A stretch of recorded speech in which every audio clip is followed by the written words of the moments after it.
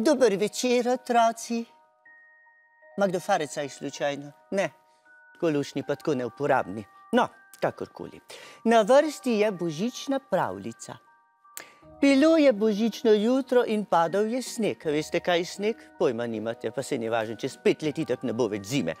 Padal je sneg in mojca je zgodaj ustala, da je na tržnico mami šla pomagati prodajati copate. Se izkoriščanje otroškega dela, no se zakaj pa ne? Če lahko otroci na kitajskem mobitele sestavljajo, zakaj pa ne bi tudi tukaj na tržnic prodajali? No, uh, kje smo ostali? Ja, tržnica. Tam sreča babico in sosedo, normalno, si sam ženske delajo desno mesti, pa vsi napasani v gostilnicah sedijo, pa se valajo gor. No.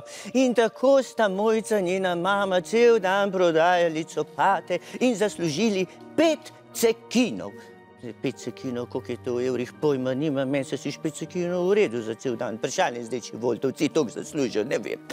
Mojca in mamica sta šli proti domu in sta na poti srečali berača in je prosil za cekino, ki se pravi, če ne je cekin ta v kralji ulice, pol to ne more biti dosvredno. Mislim, kje je delovna inšpekcija? Mislim, sramota, sramota, da nekdo cel dan dela za tok mal denarja. No, Mojca in mama mu poklonita cekini in nadaljujeta proti domu, se pa prav brihni prav nista.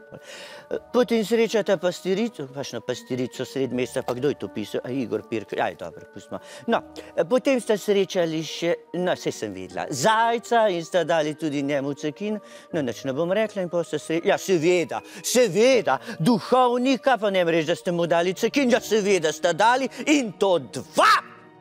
Pa se to ne moreš verjeti. No in na koncu sta bili brez bogatstva, ampak srečni se sta srečili s tem bogatstvom veliko ljudi in to je bistvo Božiča.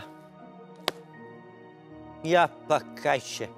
Bistvo praznikov so darila, jih imate tamle v zadnji, so vam jih starši kupili. Kaj se zdaj smirte? Starši so krivi, ko so vas sem le pripeljali na mizo, bili z vami za praznike. Kam zdaj greste? Nazaj, smrkovci! Oj, ne žve plenke mi pa je te zrihtati, da bo gospa Svetlana oblačke mal puhala.